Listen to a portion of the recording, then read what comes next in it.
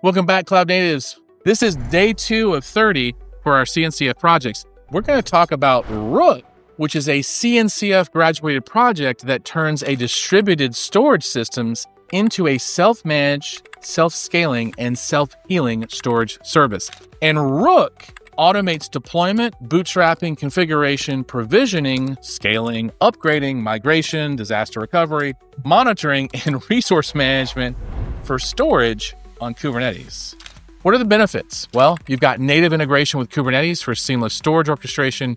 It supports multiple storage providers, including Ceph, NFS, and EdgeFS. You get automated deployment. You get dynamic provisioning of storage with Kubernetes PVCs. It's got built in monitoring and health management. It's got DR capabilities with backups.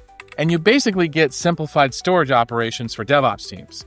Rook empowers organizations like Flipkart, Deutsche Telekom, and CERN to actually manage petabytes of data on Kubernetes while reducing operational overhead and providing highly resilient storage. So explore how Rook can simplify your Kubernetes storage and level up your cloud native infrastructure skills with our CNCF certification courses at kodekloud.com.